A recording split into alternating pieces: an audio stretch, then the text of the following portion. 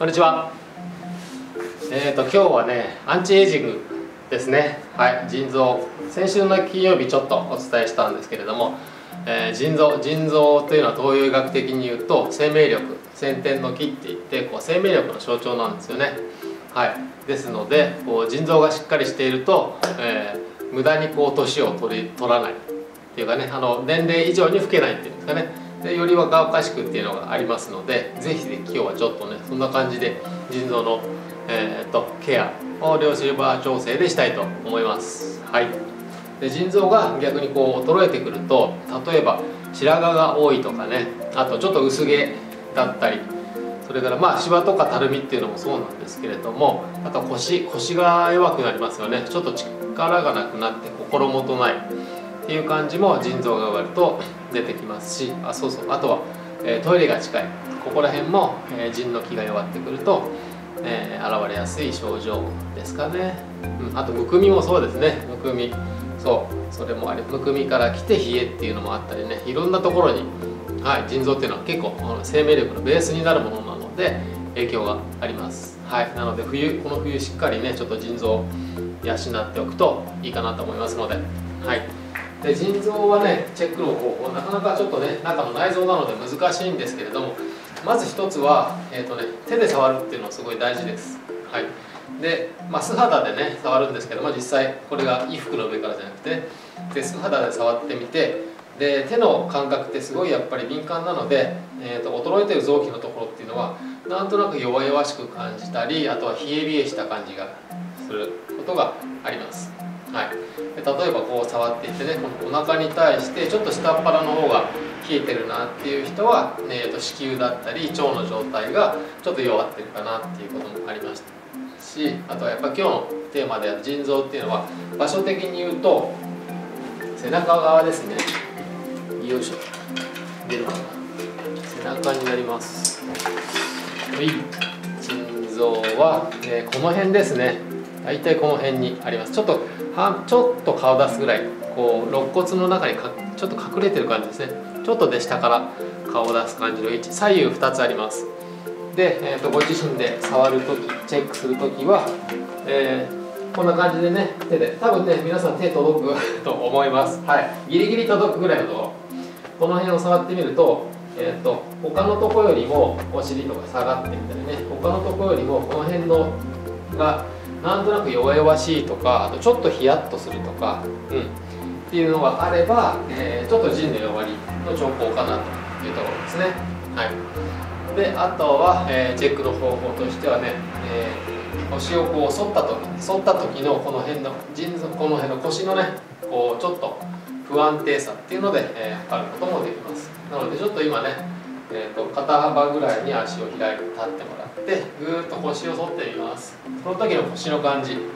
でこの時のなんか腰が弱弱々しくなると他のお腹とか足でね頑張らないとちょっと反れない感じになります、はい、でここ腎臓がしっかりして腰もしっかりしてくると足とかお腹に力入れなくても腰でしっかり支えられるのでちょっと安定感が出てきたりします、はい。であとは、えー、腎臓締まってくるとジャンプした時もねこの辺ちょっとしっかりしてる感じが出てくることもあります。でちょっとその場でジャンプしてみましょう。でこの時ねちょっとこの辺の動きを意識しながらジャンプしてでこの後ね私があの腎臓をちょっと強くするというか元気になるような、えー、調整をしますのでこの感じがどういうふうに変わるかっていうのもちょっと感じてみてください。はい。ということでじゃあ今日は腎臓のケアでこれでね皆さんあの横になってもらって上向きでそう上向きでゴロンと、ね、転がってもらってあとリラックスしてぼーっとしといてください。で私の方で、えーと、これから皆さんの施術をしますので調整をして、うん、皆さん寝てるだけで OK ですからね。はいでどのぐらい変わるか、うん、大丈夫ですかね。では始めたいと思います。